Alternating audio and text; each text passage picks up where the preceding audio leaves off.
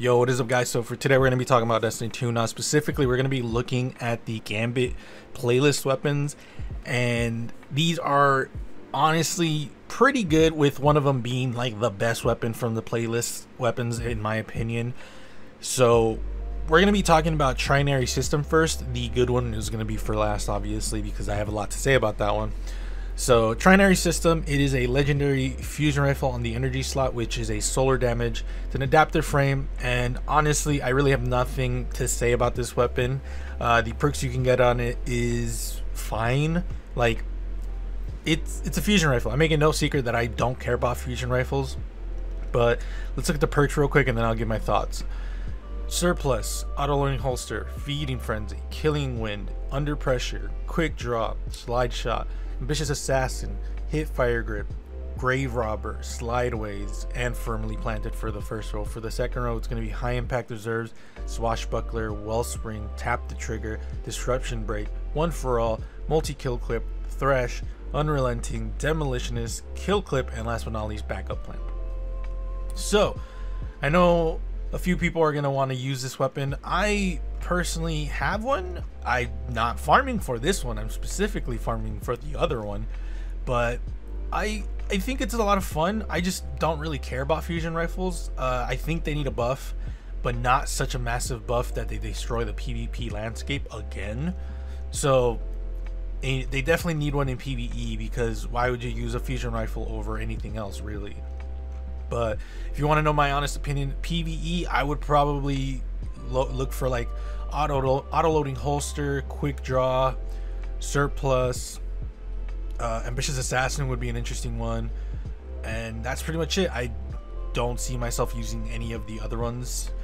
Uh, for the last row, high impact reserves is nice.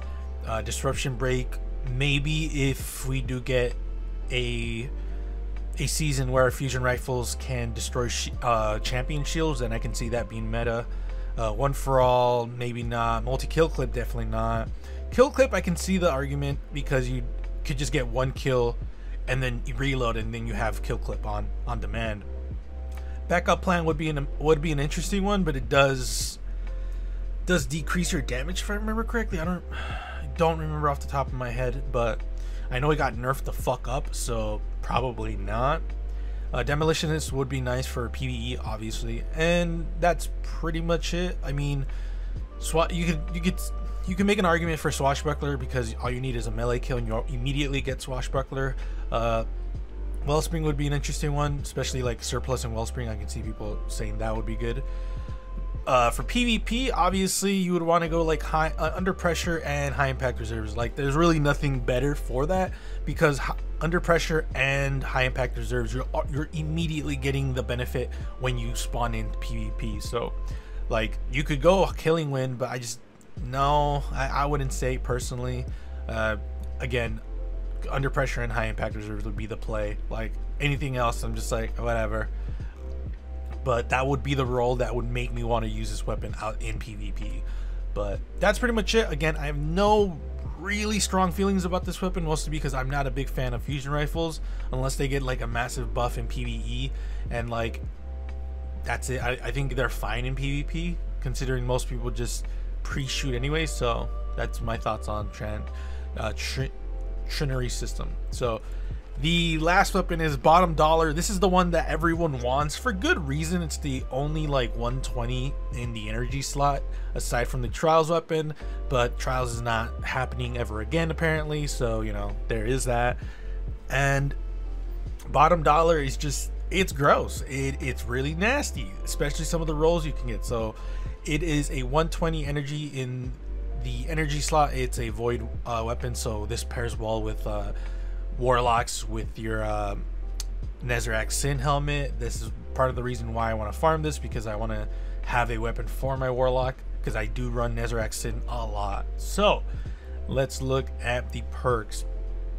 Rapid hit, fourth time's a charm, outlaw, killing wind, rangefinder, surplus, pulse monitor, feeding frenzy, hip fire grip, subsistence, quick draw, and slide shot for the first row. For the second row, it's going to be wellspring, multi kill clip, rampage, eye of the storm, explosive payload, opening shot, thresh, unrelenting, disruption break, high impact reserves, demolitionist, and dragonfly. So there's a lot of things in this that you could really do. For PvE, obviously you'd probably want to go like rapid hit, fourth times the charm, outlaw.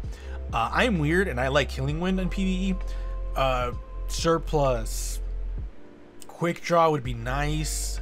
Even subsistence, I could see people arguing for the last row, Wellspring, multi kill clip, Rampage, explosive payload is nice. Opening shot, probably not. And then uh, disruption break, probably, mm, maybe, maybe not. Uh, high impact reserves, I would want to see just to see how much damage you get more.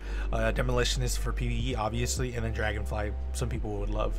Uh, for PvP, I like literally everything I just said is really good, with the exception of like rangefinder obviously is good. Killing wind is obviously good. For the last row uh, opening shot obviously. So there's just so much you can do with this. It's just unfortunate that the chances of you getting a god roll is so astronomical that it's not even funny. Like really is not.